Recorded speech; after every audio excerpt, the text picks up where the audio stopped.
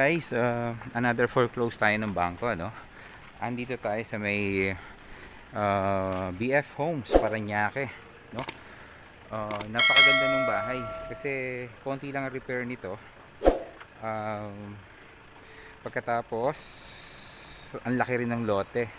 240 square meters, no? 240 square meters. Tapos ang bahay nito 285 square meters. Okay, two story, no? Kung makikita nyo guys, papakita ko lang ah. Ikot ko lang na. Ikot natin.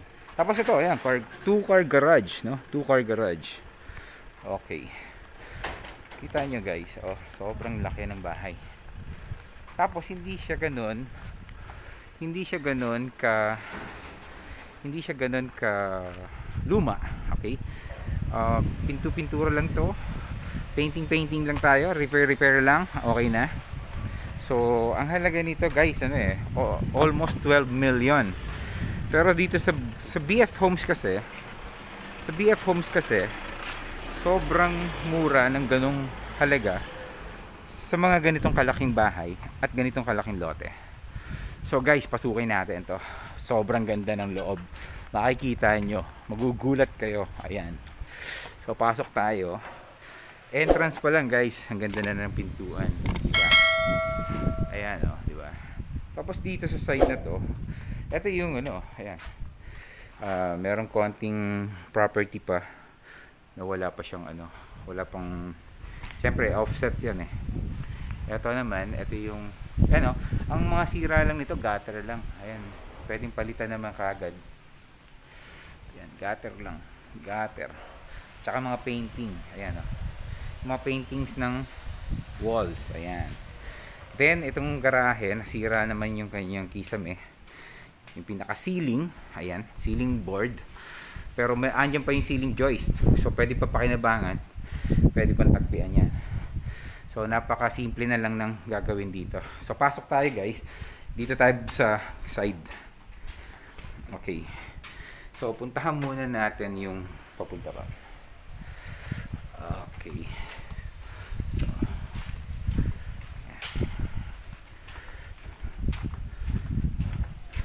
Ayun. So, merong maid's quarter yata dito. Ewan ko kung anong area. Ito, meron dito ang uh, tawag dito. Uh, uh, dirty kitchen and laundry area. Okay, ito yung likod. Nakikita ko na yung likod para makita nyo kung ano pa yung mga i-repair. Yan. So, painting lang ang talagang ano to. Busy, ilang room to?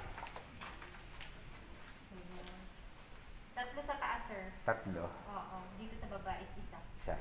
Ilang bathroom? One, two, three. Apat po. Yung master bedroom kasi may sarili mo. Okay. Sige. Pasok na ka.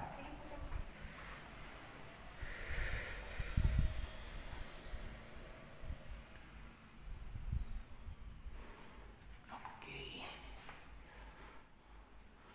Ang linis, sobrang linis pa. So kung gusto niyo pang pag ah, lagyan ah, hilamusan ng paint paint to, eh pwedeng pwede pa.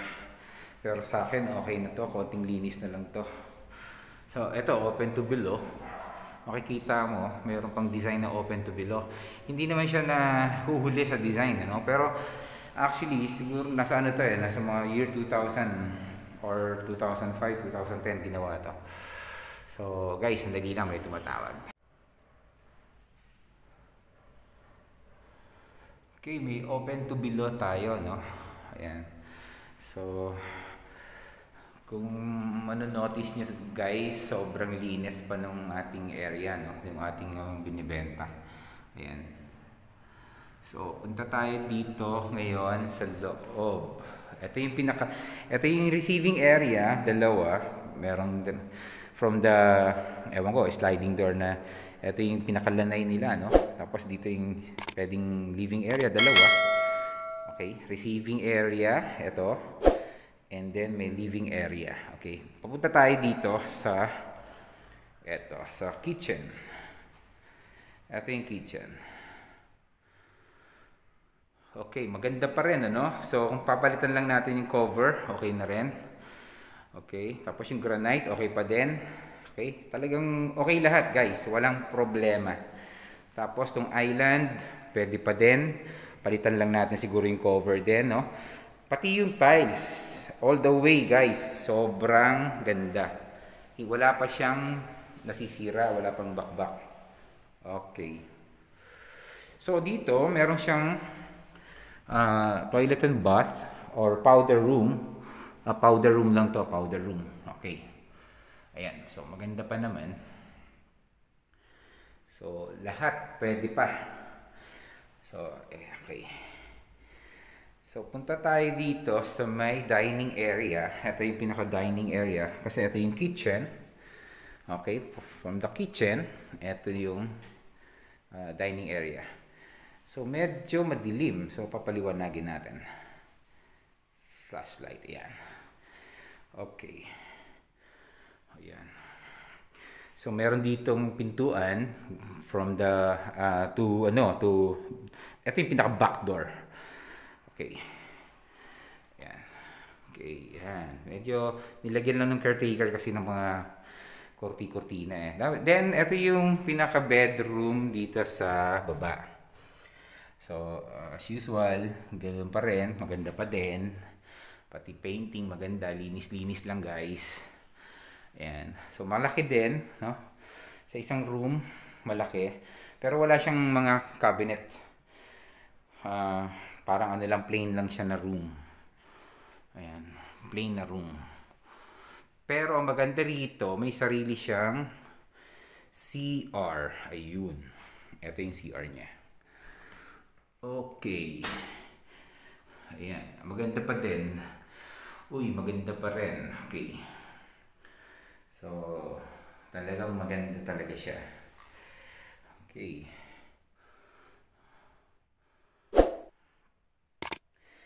So guys, pasok pa. Punta tayo sa taas.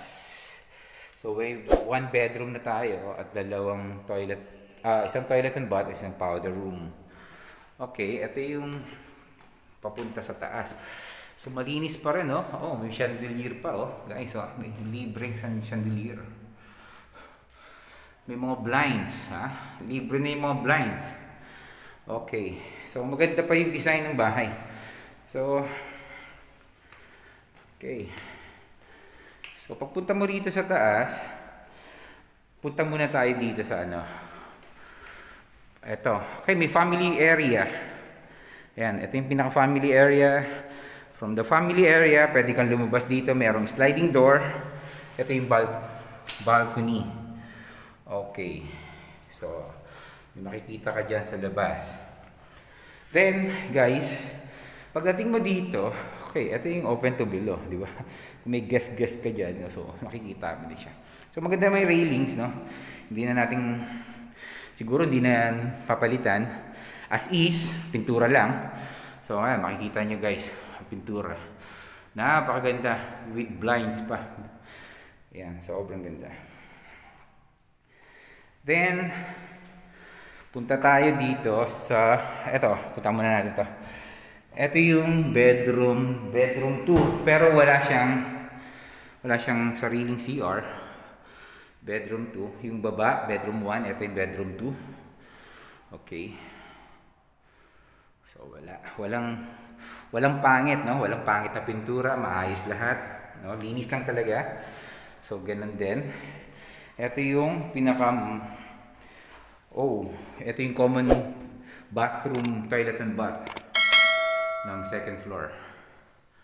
Okay. So, maganda pa talaga. Okay. Nasa sa inyo kung gusto nyo palitan yung tiles or hindi na. Pero napakaganda pa rin. Then, meron ditong area dito na, ewan ko kung ano to. Eh, tapos, pasok tayo dito sa inner room. Okay. Without bathroom din. Wala rin siyang toilet and bath. No? Kwarto lang. Okay. Yan, kwarto lang talaga. Then, tapos pasok tayo. Ito na yung masters. Okay. Medyo malaki talaga yung masters pala. Ah, hindi. Same din sa baba, no? Ganun din. Kung ano yung nasa baba, na kanina, pinuntahan natin, eto lang yun. Parang naging second floor lang ito. Uh, ito na yung pinaka-masters din. So, yung baba, pwede rin master's bedroom. Okay. So, may sarili itong CR, guys. Ito. Ang laki. Wow. Ang laki. Okay. Ang ganda ng ganda ng tiles. Oh, lahat maganda. Walang pangit, no? Pati yung tiles na ginamit, ang ganda pa rin. Even the bowl, lavatory, o oh, di ba? Lahat. Kahit yung shower, may rain shower na, oh. Di ba? Okay. So, yan guys.